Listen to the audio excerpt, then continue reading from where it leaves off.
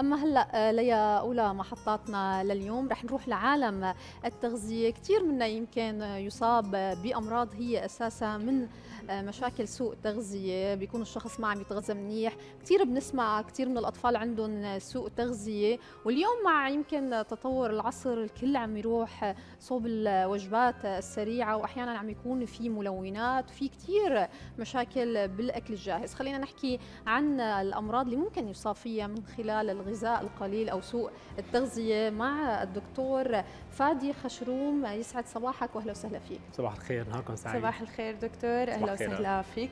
يعني بالبداية خلينا هيك بس نفسر أو نعرف شو يعني سوء التغذية؟ شو هو الشيء اللي بيعمل سوء تغذية؟ شو هن المأكولات اللي بتتضمن نتيجة سوء تغذية؟ نعم هلأ بداية أول ما بنقول نحن كلمة سوء تغذية فورا بيتبادر لأذهاننا الشخص النحيل. يلي بيعاني من نحافة شديدة، الشخص اللي بيمرض بوتيرة متكررة بسبب قلة الوارد الغذائي، طبعا هذا الكلام آه، صحيح لدرجة كبيرة جدا ولكن لربما الشيء اللي ما بيعرفه الأخ المشاهد إنه سوء التغذية ممكن كمان يطلق على الشخص البدين اللي مكتنز آه، مستويات مرتفعة من الدهون. فاذا نحن إذا حبينا نقسم سوء التغذية فينا نقسمها لعنوانين كثير كبار. آه، سوء تغذيه بسبب قلة الوارد الغذائي هذا بنسميه نحن under nutrition أو سوء التغذية بسبب فائض السعرات الحرارية. يعني عمليا نحن عم نتناول آه، زيادة عن حاجتنا اليومية من السعرات الحرارية. هذا بنسميه نحن over nutrition طيب خلينا نحكي شو الدلالات الأساسية لما أقول في شخص معه سوء تغذية لأنه في كثير ناس فجأة بتكتشف معه سوء تغذية مع إنه هو بيكون صار له فترة مع مرور الوقت لأنه بعض العلامات ناس بتحسها وهن أو تعب أو بسبب الإرهاق اليومي ممكن تدل إنه هيدا الشخص عنده سوء تغذية. نعم هلأ من الأعراض الواضحة يلي نحن ممكن نشوفها هو انخفاض الوزن بمقدار 5 ل 10% خلال 3 ل 6 أشهر. طبعا هذا الانخفاض بالوزن بيكون بوتيرة آه، متسارعة. فترة زمنية قصيرة. فترة زمنية قصيرة. من الأشياء اللي أيضا يمكن الاعتماد عليها بنلاحظ إنه ال BMI اللي هو مشعر كتلة الجسم آه، بيكون تحت 18 ونص. حتى نوضح للاخ المشاهد شو هو ال BMI ال BMI هو عبارة عن مشعر نحن بنحصل عليه عن طريق قسمة الوزن بالكيلوغرام على مربع الطول بالمتر. هذا الرقم الناتج عندي في حال طلع عندي أقل من 18 ونص فأنا أمام حالة نحافة. حالة النحافة هي إذا ما داركناها نحن بالوقت المناسب فنحن رايحين حتما بالأيام المقبلة أو بالشهور القادمة رايحين لسوء تغذية. من الأعراض الواضحة اللي ممكن نشوفها الخمول والتعب مثل ما آه، ذكرتي حضرتك هي بتكون من العلائم الواضحة جدا. بنشوف إنه الشخص اللي عم يعاني من سوء تغذية عم يمرض بوتيرة متكررة. حتى فترة الاستشفاء من المرض عم تاخذ وقت طويل بالمقارنة مع الأشخاص الآخرين يلي هن أساسا ما بيعانوا هي من بيكون عندهم أساسا مناعته ضعيفة لأنه عنده سوء أكيد لأنه أساسا المناعة القوية مرتبطة مم. بالغذاء بالحقيقة صحيح. نعم. طب دكتور هل علامات سوء التغذية بتظهر فورا أو ممكن يكون في سوء تغذية عند الصغر وبس يكبر الإنسان تبين عليه؟ هيك بس خلينا نعرف بتظهر فورا ولا لا بدها وقت أه، بالحقيقة أه، هذا الأمر يعتمد على الوارد الغذائي اللي عم يتناوله هذا الشخص. يعني فلنفرض على سبيل المثال أنا كان في عندي نقص بالمواد الغذائية الحاوية على الحديد تمام؟ في في حال كان هذا النقص ما كان كبير جدا. فعمليا فقر الدم أو علائم فقر الدم ما راح تكون واضحة بشكل أه، جلي. موضوع الشحوب مثلا ما راح يظهر بشكل مفاجئ راح يظهر بعد فترة زمنية طويلة. فاذا يعني هذا ظهور هذه الأعراض يعتمد بالحقيقة على الوارد السعرات الحرارية اللي عم يتناوله هذا الشخص وعلى حميته الغذائية. طيب خلينا نحكي هيك نفصل شوي لكل الناس اللي عم يتابعونا. كنا عم نحكي عن الوارد الغذائي والسعرات الحرارية للجسم أسباب سوء التغذية. يعني في كثير أشخاص مثلا بيقول لك إنه ابني طلع عنده سوء تغذية ما إني عم غذيه منيح. نعم. يعني هي الكلمة مثل مثل ما قلت ممكن يكون في نقص عندك بالحديد بالبروتين ممكن بنوع الغذاء اللي هو بيؤدي لسوء التغذية لأنه ما عم ياخذ حصصه الكاملة بس عم ياخذ فعليا كميات بتتفاجئ إنه عنده سوء تغذية. خلينا نحكي عن الأسباب الأساسية كيف فيني أفصلها والغذاء كيف ممكن يكون. تمام. هلا إذا سمحتي لي أول شيء أحكي عن أسباب التغذ... أسباب سوء التغذية بشكل عام. ممكن نقول إنه الفقر واحد من أهم أسباب سوء التغذية، الإدمان على الكحول والإدمان على المخدرات أيضا رح يؤدوا فيما بعد لسوء التغذيه. إذا حبينا نفوت بالأسباب المرضية بشوف أنا إنه الأذيات الحاصلة على سوية مراكز معينة موجودة بالوطاء اللي هي مراكز الجوع آه، والشبع، تأذي هذه المراكز بسبب أذية مباشرة أدت لحدوث ورم دموي أو بسياق العلاجات الشعاعية، رح شوف إنه رح تثبت منعكس الجوع عند هذا الشخص وبالتالي ما راح آه، يتناول آه، حصصه الطعامية، هذا الأمر بالنهاية رح يؤدي لسوء التغذية. في عندي أمراض أخرى ممكن تصيب الأمعاء الدقيقة مثل داء كرون الداء نعم. الزلاقي التهاب القولون التقرحي. هدول الأمراض كلياتهم رح يؤدوا لتخرب ببطانه الأمعاء. هذا التخرب بالنهاية رح يؤدي لسوء تغذية. في عندي أمراض أخرى أيضا يفترض ما ننساها ابدا مثل الانسداد الرئوي المزمن سي أو بي دي بلاحظ إنه دائما عم يترافق مع سوء تغذية. أحيانا أمراض آه، عسر البلع. الأشخاص اللي عندهم مشاكل بالبلع.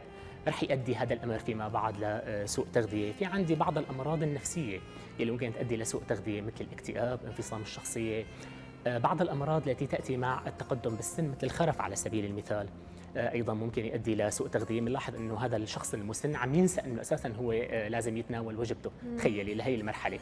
بس إذا بتسمحي لي آخر شيء كمان ما أنسى إنه الأجهزة الفموية السنية السيئة عند المسنين في حال كانت سيئة ما عادت ملائمة كالسابق ممكن تسبب خدوش وجروح لباطن الحفره الفموية. هذا الأمر بالنهاية رح يخلي المريض يستغني عن وجبته بالكامل في بس من أجل الشعور بالراحة. وبالتالي هذا الأمر رح يؤدي لسوء تغذية فيما بعد. نعم. طب دكتور فادي آه، خلينا نحكي هل المتممات الغذائية هي بتعوض عن الغذاء؟ يعني في كثير من الأشخاص يلي ذكرت حضرتك هلأ آه، من شو بيعانوا؟ إن كانوا كبار السن إن كانوا آه، مدمنين إن كانوا اي سبب حضرتك ذكرته من شوي ولكن هن بيتناولوا متممات غذائية ممكن يكونوا بيتناولوا فيتامينز أيضا. هن بيعوضوا هيدا الشيء ما يصير معهم يعني سوء تغذية ولا لأ ما في شيء بيعوض عن الأكل. تمام. هلأ نحن وقت بتكون درجات سوء التغذية منخفضة جدا. قادرين نعوض بالطعام فهو الأفضل. ولكن وقت اللي ما بنقدر بيكون عندي نقص كبير جدا فأنا مضطر لإدخال المكملات الغذائية حتما. يعني فلنفرض أنا يعني في عالم نعرفهم انهم عايشين على المتممات ما بحبوا ياكلوا ابدا. تماما. هل هذا الشيء صح هلا الفكرة هي حقيقة ما أنا بالرغبة ما أنا بالرغبة على قد ما أنا الفكرة تعود لتقييم الطبيب للحالة اللي هو عم يعالجها. فأنا لما بكون أمام حالة آه، مثلا تعاني مستويات آه، نقص بمستويات الحديد لدرجة كبيرة جدا نقص بمستويات فيتامين دي آه، لمستويات كبيرة جدا لا يمكن تعويضها ابدا بصراحة من المصادر الطعامية مهما كانت جيدة. فاذا أحيانا بنشوف انه المكملات بتصير ضرورة حتمية. صحيح. لشفاء هذه الحالة. ويمكن كثير من الصبايا كمان بيصير معهم سوء تغذية بتلاقي الصبايا والبنات بيحاولوا يمكن يدوروا على الجسم المثالي فبتلاقي في آه، سوء تغذية من خلال قلة الأكل أو المحافظة على سعرات آه، حرارية معينة خلال اليوم. كمان هذا قد بيأثر آه، على الصحة. وبتقول لك ممكن أنا آخذ متمم غذائي بعوض بشكل أو باخر بحيث أنا ما أنصح. تمام. للأسف هلا هي واحدة من الأخطاء فعلا الكبيرة م. جدا اللي عم تمر فيها الصبايا. عم يسعوا لجسم جميل جدا ولكن بفترة صغيرة جدا فترة آه، قليلة. وهذا الأمر أكيد خاطئ. نحن لما بنعمل أو بنتناول آه، سعرات حرارية أقل من احتياجنا اليومي بكثير بدك تعرفي إنه نحن بس مو بس عم نخسر دهون نحن عم نخسر وزن. شو معنى نخسر وزن؟ يعني أنا عم عمليا عم بخسر كتلة عضلية عم بخسر حتى جزء من النسيج العظمي عم بخسر كميات كبيرة من الماء. ببعض الأحيان عم نشوف قد إيه بيأثر على الصحة؟ لأنه في فرق بين خسارة دهون ولا خسارة الكتلة العضليه ما هي هذا اللي نحن الشيء دائما بنحاول نوضحه للأشخاص. حاولوا تفرقوا ما بين خسارة الدهون وخسارة الوزن. مم. لما نحن بنطلع على الميزان ونشوف وزننا قل هذا ما بيعني إنه نحن تحسنا على فكرة. مم. أنا إذا بدي راقب فعلا أنا تحسنت مشيت بي بي بي بالمسار الإيجابي فأنا يفترض استخدم الأجهزة الأخرى اللي بتقيس مستويات الدهون عندي ما بتقيس الوزن. الوزن الكلي ما بيعبر عن أي شيء للحقيقة. ببعض الاحيان أحيانا آه، خطأ معين بحمية الغذائية زيادة بوارد الصوديوم ممكن يؤدي لزيادة احتباس الماء. هل هذا آه. بيعني إني أنا مخسر الدهون على سبيل المثال؟ فإذا من حيث المبدأ أكيد لا غلط إنه تماما. آه، وعم نشوف أيضا بعد الريجيمات آه، دكتور فادي عم تاثر بعد آه، أشهر يعني عم نشوف فجأة الصبية عم تسلط بالأرض عم يصير عندها نقص كلس عم يصير عندها نقص بمعادن بجسمها نتيجة اتباع حمية غذائية خاطئة. خلينا لكن نحكي عن العلاجات الصحيحه أو الإسعافات الأولية يلي لازم تتبع إن كان للصبايا إن كان للشباب وإن كان للأطفال أيضا آه، خلينا كمان هيك نتطرق لسوء التغذية عند الأطفال. تمام. هلأ أنا بداية لما بدي أعالج حالة سوء تغذية أول شيء بدي أعمله بدي ألغي السبب الرئيسي. مم. تمام؟ يعني أنا ما بيمشي الحال إني أعالج الأعراض وأترك الأسباب الرئيسية الكاملة. مم. يعني عمليا أنا في عندي حالة عسر بلع بسبب ورم آه، ضاغط على سبيل المثال على سوية المري أو البلعوم فيفترض يتصحح جراحيا بالبداية. في حال كان عندي آه، مثلا حساسية تجاه الجلوتين اللي هو بروتين القمح فأنا يفترض إني أستبعد المصادر المصادر الطعاميه الحاويه على جلوتين تمام؟ فأنا إذا ما عالجت السبب الرئيسي فأنا حتما عم عالج الأعراض وهذا الشيء ما راح يؤدي لنتائج ابدا. بالحالات الأخرى بعد ما بنفي الأسباب كلياتها بنفي وجود التهابات معوية على سبيل المثال بتؤدي لحدوث الغثيان والإقياء. بعدين فيما بعد أنا ممكن أنا أنظم برنامج غذائي. البرنامج الغذائي بيتوافق مع احتياج هذا الشخص تمام؟ يعني مثلا فلنفرض في حدا مهنته متعبة مهنة شاقة بتتطلب كم كبير من السعرات الحرارية ولكن هو ما بيعرف هو بفكر إني أنا بس هذا الوارد الغذائي بيكفيني خلال اليوم. أنا عم باكل مثل ما عم ياكلوا أهلي. بالحقيقة أنت وارد السعرات الحرارية تبعك لا يحسب بهذه الطريقة. أنت لازم تبعا لطولك ووزنك وعمرك ونشاطك الفيزيائي اللي عم تقوم فيه خلال اليوم تتناول حاجتك من السعرات الحرارية ولا أنت حتما رايح باتجاه نحافة وفيما بعد باتجاه سوء أو يمكن ساعات العمل الطويلة بتضطر الشخص ياكل وجبة واحدة. يعني أحيانا بتلاقي شخص بيشتغل شغلين أو شغل يعني لساعات طويلة بتلاقي عم ياكل وجبة واحدة فهو فعليا ما عم ياخذ الحصة الغذائية الكاملة خلال هلأ آه للأسف للأسف بنشوف آه إن الوجبة الواحدة اللي عم تحكي عليها حضرتك عم تكون وجبة جاهزة. هالوجبة الجاهزة هي غنية بالسعرات الحرارية آه، غنية بمصادر الدهون السيئة. وبنفس الوقت عم تؤدي لزيادة شعور منعكس الغثيان والإقياء. وبالتالي حتى عم تثبط عنده شعور الرغبة بتناول وجبات طعامية بأوقات أخرى من اليوم. فإذا هي كمان واحدة من الأخطاء الكبيرة جدا. يعني أول شغلة نحن نعالجها وقت نعالج سوء التغذية بنقول له إنه بدك تتوقف عن تناول الأطعمة الجاهزة. لأنه واحدة من تأثيراتها السيئة هي بصراحة زيادة منعكس الغثيان والإقياء. عند هؤلاء الأشخاص وبالتالي ما راح يقدر يتناول وجبته الطعامية بوقت لاحق. فيما بعد هلأ نحن ممكن نتناول آه، وجبات غذائية غنية بالسعرات الحرارية، نعتمد على المخفوقات أيضا الغنية بالسعرات الحرارية الكوكتيلات. على سبيل المثال يلي فيها دهون صحية تعتبر خيارات جيدة جدا. في حال كان عندي حالة من الغثيان والإقياء أنا ممكن أخذ مضادات الغثيان والإقياء. ممكن بعض الأحيان أعتمد على بعض أنواع الأدوية اللي بتزيد معدلات الشهية مثل ال megestrol dronabinol. فإذا الخيارات عندي عديدة. كل خيار بصراحة آه، له استطباب معين تبعا للحالة الموجودة أمامي. طيب نعم. خلينا نحكي دكتور عن سوء التغذية عند الأطفال. يعني كثير بنلاحظ أحيانا أنه سوء التغذية عند طفل مثلا رضيع أو بسنواته الأولى. كيف الأم ممكن تعرف أنه عنده سوء تغذية وأسباب سوء التغذية عنده. تمام.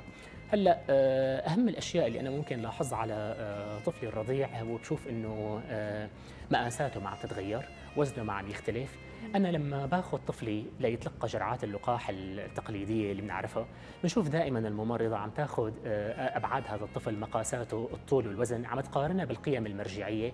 هذا شيء كثير أساسي ومهم حقيقه. حتى لو ما كنا آه، في عندنا جرعات معينة من اللقاح يفترض نحن نعمل زيارات دورية إما لطبيب أو للمراكز الصحية. كرمال أنا قارن آه، أبعاد طفلي ووزنه تمام مع القيم المرجعية حتى أشوف معدلات النمو عنده هل هي طبيعية أم لا. في عندي أشياء أخرى أنا ممكن أراقبها بطفلي. في عندي شيء بكاء غير مبرر. في عندي مثلا رغبة بالنوم آه، شديدة آه، طوال الوقت. بحاول لعبه بلاقي طفلي آه، أو الرضيع عندي خمول ما عم يتجاوب معي. حيل. تماما ما عم يتجاوب معي بدرجة كبيرة جدا. بس أكيد طبعا بالمستويات المتقدمة للأسف. نحن بنتمنى ما نوصل لهالمستويات. ممكن نشوف نحن تساقط أشعار عند هذا الطفل تساقط شعره. ممكن نشوف ظهور بقع داكنه على الجلد. ممكن نشوف تضخم بالكبد مثل ما بنشوف بمرضى كواشيركور ممكن نشوف وذمه معممة بنلاقي الام عم تضغط على جلده بتلاقي تركت آه، علامة لفترة طويلة آه، هذه الضغطة.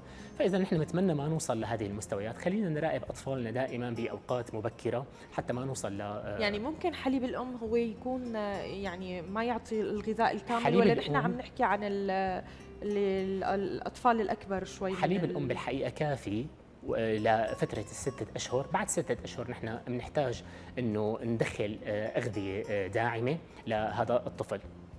تمام.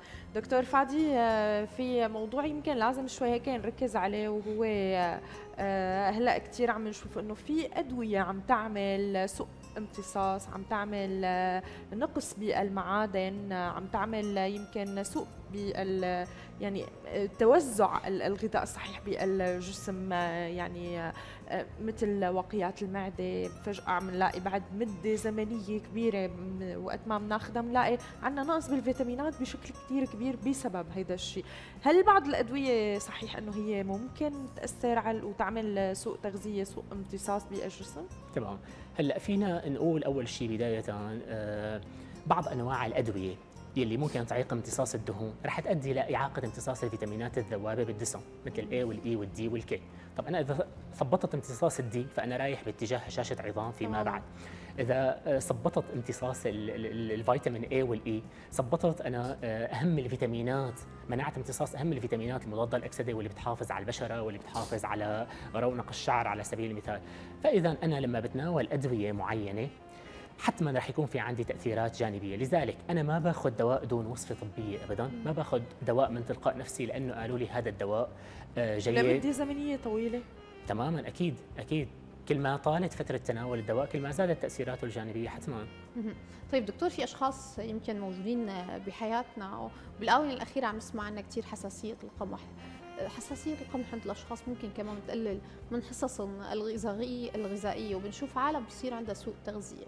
فقديش مهم هون فينا نقول اللعب على الغذاء البديل لحتى ما يوصل لهي الحالة لأنه فجأة بيكتشف أنه عنده هي المشكلة. تماما. هلأ أهم شيء بهي الحالات هو الاكتشاف المبكر. يعني لما بتكون الأعراض بالحقيقة ما صارخة للأسف بيتناول هذا الشخص آه، منتجات القمح مثل الخبز البرغل كذا لفترات طويلة هو ما بيعرف. بينما بتكون الأعراض صارخة فورا بينتبه بصراحة وفورا حتى المحيطين له بيعرفوا إنه هذا الشخص يعاني من حساسية تجاه الجلوتين اللي هو بروتين القمح. فاذا نحن كل ما بنكتشف بوقت مبكر كل ما كان أفضل. طبعا هدول الأشخاص إذا تداركوا بالوقت المناسب وتناولوا المصادر الأخرى يلي ما بتحوي الجلوتين بس هون ما كثير في يعني عندك هي المواد بتلاقي في عذاب متوفرة متوفرة لتلاقي الخبز آه، الذرة أو هي المعكرونات الذرة. فدائما لهيك بيكون في بعض الأشخاص عندهم سوء تغذية والأطفال أحيانا بيكون عندهم هي الحساسية. فببلش عندهم سوء تغذية لأنه ما في الغذاء فينا نقول البديل أو الصحيح. وحتى صح. المريض نفسه يمكن ما عنده هي الثقافة الفظيعة شو لازم يأكل وشو لا. نعم نعم مثل ما تفضلتي. بالحقيقة آه نتمنى نشوف عنا بأسواقنا منتجات آه، خبز آه، مصنوعة من مصادر أخرى غير القمح مثل ما عم نشوف برا خبز مصنوع من الأرز خبز مصنوع من الذرة. هالمصادر هي يعني صار في عنا بصراحة بعض المخابز عم تصنعها عنا.